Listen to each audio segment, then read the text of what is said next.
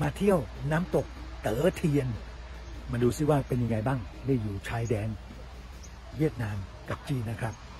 นี่คือทางเข้า ภายในอาคารนะครับ มีน้ำตกจำลองด้วยว้าวนี่เป็นทางเข้าครับสวยไหมครับข้างล่างนี่เป็นโถงต้อนรับครับ โอ้สวยดีนะครับ โอ้ใหญ่โตนี่คือชั้นล่างตรวจพาสปอร์ตด้วย เออ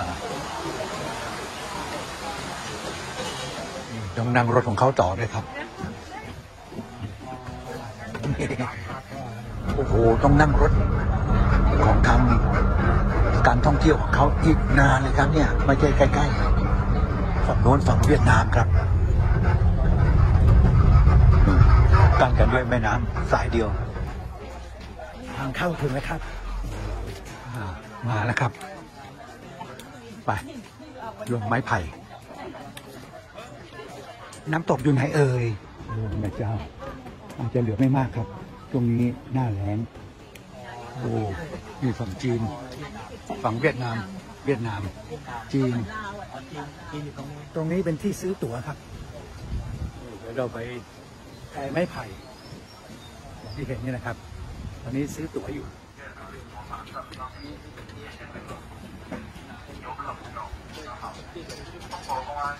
ลงเรือแล้วครับ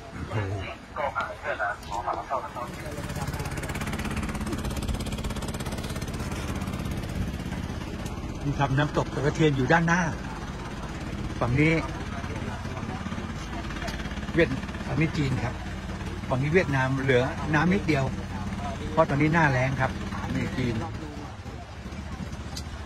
ฝั่งเวียดนามเงียบเหงาครับเงียบเหงา เวียดนามมีบุหรี่ขายด้วยครับโอ้เออกับฝั่งนู้นเวียดนามครับ ดูสิครับ น้ำตื้น อืมตื้นมากเลยครับ ดูนี่คนก็ถ่ายรูปกันใหญ่ครับโอ้น้ำตกเดี๋ยวนี้นี่มาชมใกล้ๆเลยครับ น้ำตกเออเทียนแต่ดีวันนี้น้ำน้อยครับมีเท่านี้แหละครับ น้ำตกเต๋อเทียนวันนี้น้ำน้อย ก็เลยเหลืออยู่เพียงแค่นี้ คนขับเรือครับ คนขับเรือ เรือหางยาว อ้าว ขึ้นเรือแล้วครับ โอ้โห เป็นผลหนึ่งนะครับที่ฝั่งเวียดนามน้ำน้อยเขาก็สร้างเขื่อนอยู่ครับ มีเขื่อนอยู่ ถ้ามีคนมาท่องเที่ยวในฝั่งเขาเนี่ยเขาจะปล่อยน้ำเนี่ยน้ำจะมากกว่านี้ครับ ถึงแม้จะเป็นหน้าแล้งก็ตามนะครับ เขื่อนนี่อยู่ฝั่งเวียดนาม ตกลงเราอยู่ที่น้ำตกประมาณ 20 นาทีบนแพนะครับ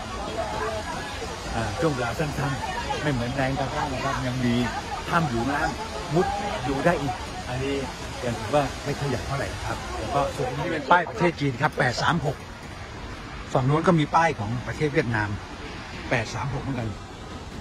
ระหว่างกลางทั้งสองป้ายคือเส้นแบ่งอาณาเขตนั่นเองป้ายที่ว่านี้อยู่ตรงนี้เองครับ 站出来点，站出来点。 ตอนนี้เราจะมาปีนเขาครับ ขึ้นไป ดูน้ำตกด้านบน ว้าวตรงนี้ก็สวยครับได้ครับ วันนี้น้ำน้อยโอ้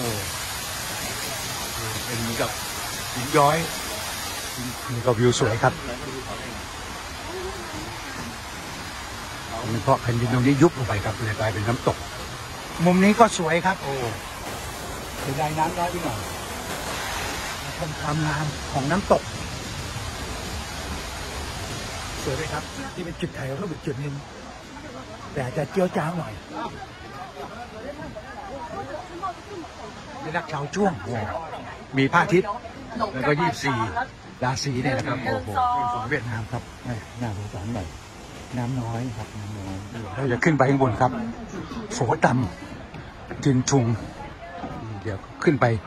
อีกคนละเจ็ดสิบห้าหยวนนะครับ โอ้ แต่ว่ารวมอยู่ในทัวร์แล้วเลยเอ้าไปลุยกันดูนะครับ หวาดเสียวเหมือนกันครับ เราเดินขึ้นไปต่อครับ ไกลเหมือนกันนะครับ เนี่ย จะมี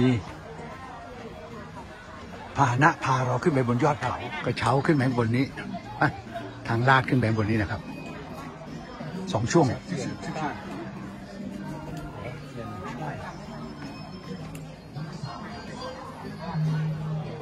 ไปลุยกันครับ ไปดูซิจะขึ้นยังไงดีเขาบอกช่วงนี้มีคนมาเที่ยวหนึ่งหมื่นสองพันหกร้อยสามสิบเก้าคนครับอาจจะไม่ไหวสีเหลืองก่อนนะคะจับสีเหลืองก่อนจะได้นั่งได้หนึ่งสองสามพรหมพิเศษ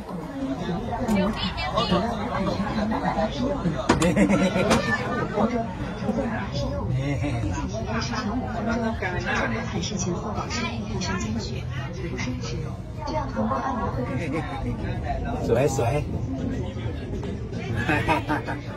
บันไดเลื่อนหรือกระดานเลื่อนนี่ยาวมากเลยครับดูสิครับเดี๋ยวต้องนั่งอีกช่วงเดียวได้มั้งครับว้าเขาเต็มไปหมดเลยนี่ข้างบนของน้ำตกเตอเทียนนะครับ วิวถ่ายรูปครับข้างบนนี้ จากพรหมวิเศษยังนึกสองร้อยกว่าขั้นว่าไปดูกัน สวยไหมครับ โอ้ด้วยประเทศสวยงาม ฝั่งนู้นเวียดนาม ฝั่งนี้จีนครับโอ้โหดูภูเขาของเขานี่ครับน้ำตกอยู่ข้างล่าง ฝั่งนี้เป็นฝั่งจีนข้างๆพอดีมองไม่เห็นนะครับ เป็นฝั่งเวียดนามดีนะครับ ฝั่งจีนนี่ก็มีการพัฒนาการท่องเที่ยว ให้ขึ้นมาบนเขา แต่ว่าฝั่งเวียดนามคงยังพัฒนาไม่ได้นะครับ เพราะภูเขาอยู่ห่างจากน้ำตกน่าเสียดายเหมือนกันอ่าวันนี้ก็ทำไว้สวยงามครับ ไปดูกันวิวสวยไหมครับ สุดยอด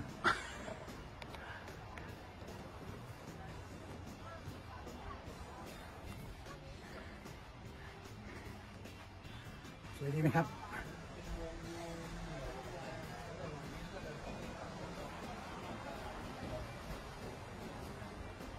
ดอกไม้สวยครับ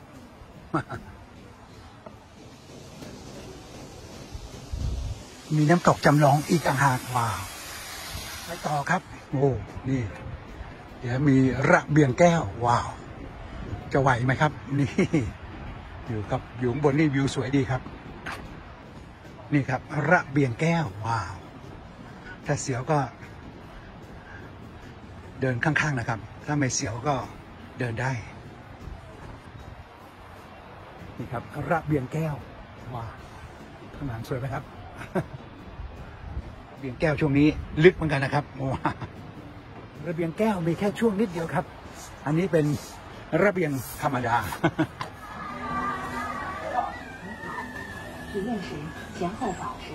หมดแล้วยังมีน้ำตกทำงานแล้วครับ โอ้เขาเปิดน้ำตกแล้ว เลยน้ำมาเยอะเลย นี่น้ำตก ตอนนี้น้ำเยอะแล้วครับ น่าสนใจเช้าน้ำน้อย ตอนนี้น้ำเยอะแล้วครับ แต่หน้าน้ำคงเยอะกว่านี้อีก โอ้โห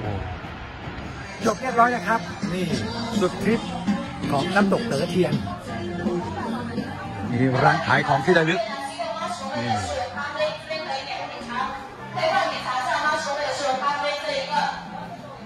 นี่ก็เป็นจุดขายอย่างนึงครับ โอ้ร้านขายของที่ระลึกนี่ก็ใหญ่เหมือนกันครับ เดินวนไปเรื่อยเผื่อเราจะซื้อ แต่ผมไม่ซื้อหรอกครับคุยภรรยาบอกว่า อย่าซื้ออะไรโง่ๆกับบ้านเนื่องจากว่ารสนิยมผมไม่ค่อยเก่งนั่นเองนะครับ ไม่มีอะไรการทางออกแล้วครับ จบทริปข้างล่างของน้ำตกนี่ก็มีชุมชนครับ มีแหล่งขายของกันเยอะแยะ น่าสนใจเหมือนกันครับนี่เป็นแหล่งร้านค้า ทางด้านล่างของน้ำตกครับและช้อปปิ้งได้ มีรถรับออกไปสู่ด้านนอก ซึ่งรถบัสเราจอดอยู่นะครับนี่มีเป็นคันๆอีกที่หนึ่งคงจะใช้เวลาอีกพักใหญ่นะครับกว่าจะถึง